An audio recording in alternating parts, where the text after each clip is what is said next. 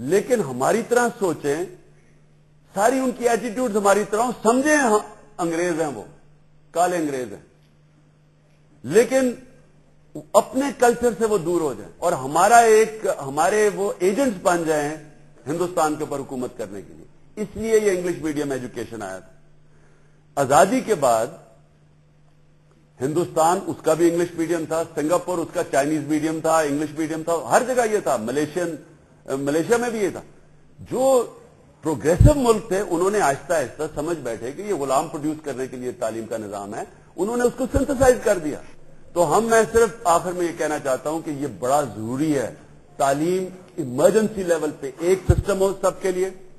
अगर अंग्रेज़ी के हमारे पास टीचर्स नहीं है टेली एजुकेशन शुरू करें। हम मियावाली में जो हम यूनिवर्सिटी शुरू की है हमने, और इंशाला पाकिस्तान की प्रीमियर यूनिवर्सिटी बनेगी। उसके अंदर अगर हमारे पास फैकल्टी नहीं है, हम टेक्नोलॉजी का इस्तेमाल करेंगे। हम इंशाला बाहर प्रोफेसर बैठा होगा इंग्लैंड के अंदर और वो लेक्चर दे रहा होगा उधर टेली एजुकेशन के ज़रिए। देखिए, अगर हमारे पास टीचर्स नहीं है लैटरल थिंकिंग करें, और तरीके से, सबको अंग्रेज़ी पढ़ाएँ। लेकिन अंग्रेज़ी एक क्लास फैक्टर ना बन जाए। एक सोशल एक एक माशरे के अंदर अगर ऊपर, माशरे में सोशली ऊपर तरक्की करनी है तो अंग्रेज़ी बोलनी शुरू कर दें और दूसरा ये खत्म करें। अंग्रेज़ी हायर एजुकेशन के लिए एक ज़रिया होना चाहिए बिल्कुल ठीक है। लेकिन अंग्रेज़ी एक क्लास सिस्टम प्रोड्यूस करने के लिए नहीं होना चाहिए। इमरान साहब एक क्वेश्चन मैं आपसे करूँगा। आ, वो ये कि लास्ट वीक हम लोगों ने यहीं पे इसी जगह पर एक प्रोग्राम किया था।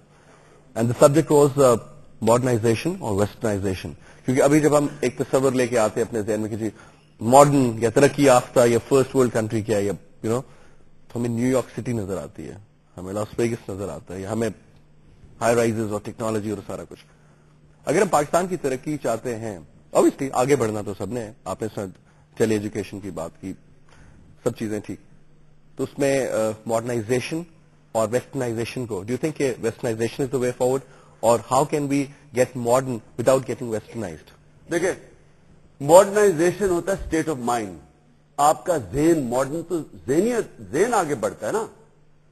वेस्टर्नाइजेशन क्या होता है कि वो जो उनके तौर तरीके आप अपना लेते हैं, जिसमें से कई ऐसी चीज़ें हैं, जो मैं समझता हूँ कि उनके माशरे के अंदर उनका माशरे का सत्यानाश हो रहा है।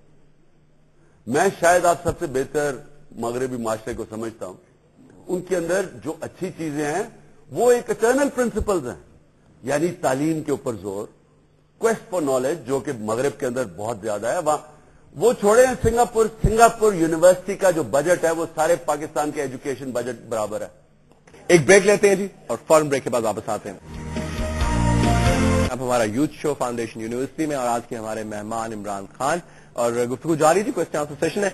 तो अभी अगला सवाल लेते हैं जी please sir my first suggestion is you have to choose a role of a politician और a reformer. You first have to be a politician, then reformer. And this is a high time to showcase your identity as a separate politician. You have to showcase yourself as a leader, politician, and a separate identity. Do, don't align yourself with the, these people then people and come up with the solid vision to the nation, young students and to the common man. दूसरी बात यह है जब आप when you are giving quoting example कि आप Europe की जो जुडिशरी है या स्विट्जरलैंड की स्टेट जुडिशरी है बहुत अच्छी है। हाउ कम वहाँ के आप सारा दुनिया का लुटा पैसा उनके पास? They, they are not allowing anybody to get the money back. सिर्फ़ ओबामा को उन्होंने इस बार अलाउ किया है कि उनका जो उन्होंने ऑफ़ शोर जो उनकी कंपनीज़ है वहाँ पैसा रखती हैं और वो टैक्स एविजन कर रही हैं। मुझे आपको और कोई एग्ज़ाम्पल दे दें। तो जुडिशरी तो उनकी भी फ्लॉड है। You can't quote the example कि वहाँ की जुडिशरी बहुत अच्छी हमारी जुडिशरी उससे अच्छी होगी जिससे हमारा सिविल जज आम आदमी को सही डिसीज़न देगा और हमारे वकील दोनों तरफ़ से पैसे नहीं लेंगे। मैं सबसे पहले तो जी ये अर्ज़ करना चाहता हूँ कि जो आपने डिफरेंस बताया रिफॉर्मर और पॉलिटिशियन का। ये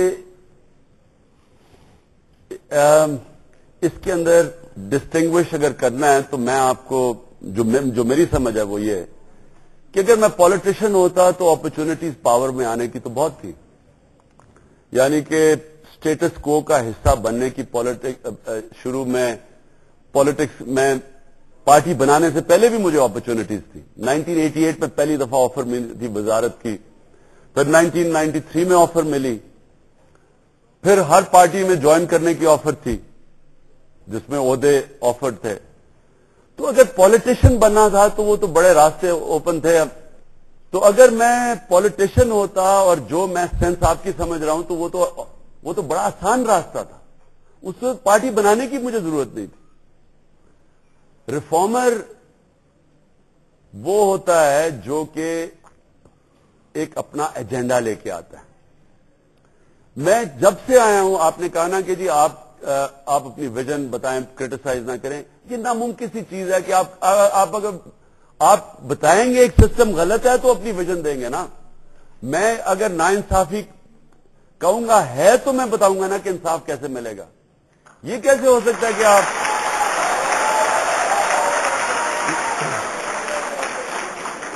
लेकिन मेरी जो विजन पहले दिन से बड़ी क्लियर है। मैंने कभी अपनी विजन से विजन से हटा नहीं। मैं तेरह साल पहले से कह रहा था कि पाकिस्तान के अंदर तहरीक इंसाफ। इंसाफ तब होगा जब अदालतें आज़ाद होंगी और कानून की बालादस्ती तब होगी। ये तेरह साल से मैं कह रहा था। ये दो साल से कौम शुरू हुई है कहने। लेकिन मैं तब से, और आप जब कहते हैं ना कि आपकी क्या कंस्ट्रक्टिव विजन क्या है मैं आपके सामने फिर से पेश कर रहा हूँ अपनी विजन इस मुल्क ये आ, पाकिस्तान जो हमारा मुल्क है इसमें सब कुछ है टैलेंट है। इसके अंदर सबसे ज़्यादा लोग टैलेंटेड हैं। ये लोगों को जब मौका मिलता है मैं सबसे ज़्यादा ओवरसीज पाकिस्तानियों को जानता हूँ। बड़े बड़े काम कर देते हैं। वाइब्रेंट कॉम है ये। आप ये सोचें कि सारे ऑक्सफोर्ड यूनिवर्सिटी में जो स्क्वाश कोर्स थे सारे पाकिस्तान से ज़्यादा हैं और यहाँ जहांगीर खान और जानशेर खान से ऐसा टैलेंट निकला। क्रिकेट के अंदर जो मैं आप शायद ज़्यादा बाकियों से बेहतर जानता हूँ सब्जेक्ट को। यहाँ कोई इंफ्रास्ट्रक्चर नहीं है पाकिस्तान में क्रिकेट का। मैं 25 साल से कहता रह जा रहा हूँ कि पाकिस्तान में कोई क्रिकेट को इंस्टीट्यूशन बनाओ। उसके बावजूद वर्ल्ड कप जीतने वाली टीम बनाई। दुनिया की एक 1988 नाइन में डिलॉयट रेटिंग में नंबर वन टीम थी दुनिया की। और hockey world cup hockey world cup जीती हुई है यह मुल्क। इस मुल्क इस मुल्क के अंदर ये छोड़े, अमेरिका के अंदर उन्होंने जो टॉप एकेडमिक ग्रुप्स जो जो चुने उनमें पाकिस्तानी है। पाकिस्तानी अमेरिका के अंदर टॉप एकेडमिक ग्रुप्स में क्वालिफाई करते तो टैलेंट है। लेकिन ये सारा कुछ तब ये मुल्क को फ़ायदा पहुंचाएगा जब यहाँ कानून हो, या एलिट सिस्टम ना हो। तो ये इसमें कोई रॉकेट साइंस नहीं है। आप जो भी सिविलाइजेशन आगे बढ़ाए उन्होंने कानून पहले प्रोवाइड किया है। रोमन जब दुनिया की सुपर पावर बने तो रोमन लॉ सबसे सुपीरियर था। बाकियों को बारबेरियंस कहते थे, क्योंकि कानून नहीं था वहाँ। आज भी तीसरी दुनिया इसलिए फंसी हुई है, कानून नहीं है वहाँ। तो सबसे पहले मुसलमानों की आप देख लेना हिस्ट्री हम राइज करते गए कब तक? जब तक हमारे मुसलमानों का जो कानून था, बाकी दुनिया के कानून से बेहतर था। जब आपको पता है ऑटोमन एम्पायर जब ऑटोमन यूरोप के अंदर गए तो जो यूरोप की पेजेंट्री थी, जो उनके मुजाहरे थे, वो मुसलमानों को लिबरेटर समझते थे, क्योंकि हमारा कानून बेहतर था। अब आहिस्ता आहिस्ता क्या होता रहा कि उधर उनके कानून की बालादस्ती आनी शुरू हो गई।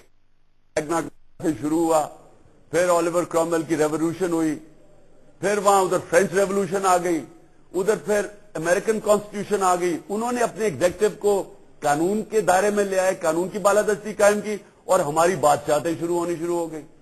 आज पचपन मुसलमान मुल्कों के अंदर मुश्किल से तीन उनको आप कह सकते हैं डेमोक्रेसीज है। बाकी तो सारी बादशाह या डिक्टेटर्स बैठे हुए हैं। तो हमारा बेसिक इशू कानून की बालादस्ती है, जो मैं पहले दिन से इसलिए नाम तहरीक इंसाफ। फिर मैंने एजुकेशन की बात की, फिर मैंने एक माशी इंसाफ की बात की कि इकोनॉमिक जस्टिस चाहिए, माशी और समाजी इंसाफ पाकिस्तान में चाहिए। और फिर उसी के अंदर इन्वॉल्व होता है रोज़गार, हुकूमत ज़िम्मेदारी ले अपने लोगों को रोज़गार देने की। ये मेरी विजन है आपके सामने। और इसके ओवर आर्चिंग विजन यह है कि पाकिस्तान